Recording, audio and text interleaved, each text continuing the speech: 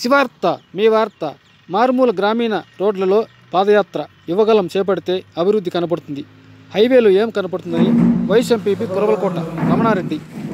వైఎస్ఎంపీకి NV రమణారెడ్డిని నేను ఈ మీడియా సన్నివేశంగా చెప్పదలుచుకున్న విషయాలు ఏమిటంటే యువగలం పేరుతో పాదయాత్ర చేస్తున్న శ్రీ లోకేష్ గారు ఈ మధ్య చెప్పాల్సినవి చూడాల్సినవి చెప్పకుండా చూడకుండా అవాస్తవాలు మాట్లాడుతూ క్షేత్రస్థాయిలో ఏం జరుగుతుందో తెలుసుకోకుండా రాజకీయంగా ఎదగాలనే ఆలోచనతో లేనిపోని విషయాలన్నీ ప్రజలకు అపోహలు కల్పించే విధంగా మాట్లాడడం చాలా శోచనీయంగా ఉంది. మీరు అభివృద్ధి జరగలేదు అంటున్నారు. అభివృద్ధి జరిగిందా లేదా అని మీకు తెలియాలంటే హైవే జాతీయ రహదారులు పోతే పాదయాత్రలు చేస్తే సరిపోదు.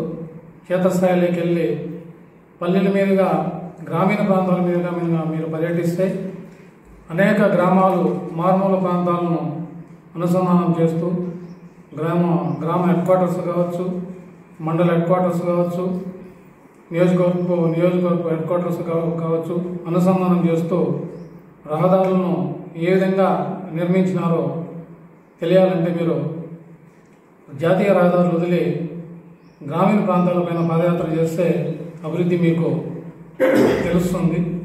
అది మీ నాన్నగారి ప్రాంతంలో జరగ మీ నాన్నగారి పాలనలో జరగల? అది కేవలము జగన్మోహన్ రెడ్డి గారు వచ్చిన ఈ నాలుగు సంవత్సరాల్లోనే జగన్మోహన్ రెడ్డి గారి ఆధ్వర్యంలో మా పెద్ద ఆయన మంత్రివర్యులు మా పార్లమెంటు సభ్యులు మిథున్ రెడ్డి గారు మా ఎమ్మెల్యే గౌరవ ఎమ్మెల్యే ద్వారకనాథ్ రెడ్డి గారి ఆధ్వర్యంలో ఏ విధంగా అభివృద్ధి జరిగిందో మీరు ఒకసారి గమనించాల్సిన అవసరం ఎంతైనా ఉంది. మీరు పద్నాలుగు సంవత్సరాలు సీఎంగా పనిచేసినాడు. ఆయన హయాంలో తమ్మలపల్లి అభివృద్ధి ఎటువంటి పరిస్థితుల్లోనూ వీసమంత కూడా అభివృద్ధి జరగలేదు. కానీ వైఎస్ రాజశేఖర రెడ్డి గారి హయాంలో కావచ్చు జగన్మోహన్ రెడ్డి గారి హయాంలో కావచ్చు అభివృద్ధి శరవేగంగా పరిగెత్తడం జరిగింది. కాబట్టి మీరు అభివృద్ధి గురించి ఛాలెంజ్ చేస్తే అది ఆశాస్పదంగా ఉంటుంది. ఎందుకంటే మీ నాయనగారి హయాంలో అభివృద్ధి జరిగింటే మీరు దాన్ని గొప్పగా చెప్పుకోవచ్చు కానీ జరిగిన దాన్ని జరగలేదని చెప్పడము ఆశాస్పదంగా ప్రజలు జోకరగా జోకులుగా చెప్పుకుంటున్నారు.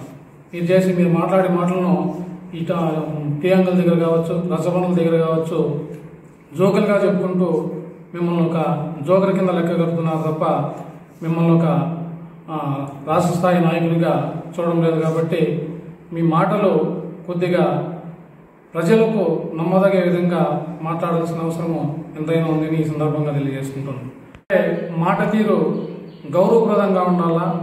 అలాగే ఉన్నతంగా భావ వ్యక్తీకరణ కావచ్చు.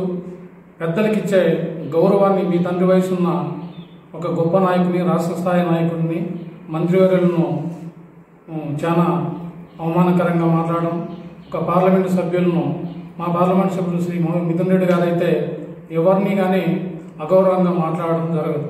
ఎవరినైనా కానీ ప్రత్యర్థులను కూడా గారు అని లాస్ట్లో గారు అనే సంబోధిస్తారు. ఆయన ఆ విధంగా మాట్లాడడం. ఈ విధంగా గౌరవంగా మాట్లాడితే మన విలువ పెరుగుతుంది. అగౌరవంగా మాట్లాడితే మీ విలువ మీరు తగ్గించుకునే వాళ్ళు అవుతారు కానీ పెరిగేది ఎటువంటి సందర్భాల్లోనూ జరగదని చెప్పు చెప్తున్నాను. స్వర్గీయ ఎన్టీ రామారావు గారు మీ తాతగారు చాలా ఉన్నతంగా మాట్లాడేవారు. అసెంబ్లీలో కావచ్చు బయట పబ్లిక్ మీటింగ్లో కూడా కావచ్చు ఆ కాలంలోనే తన రాజకీయ ప్రత్యర్థులను చాలా హుందాతనంగా గౌరవంగా రాజకీయ రాజకీయంగా కాకుండా సిద్ధాంతపరంగా మాత్రమే మాట్లాడేవారు.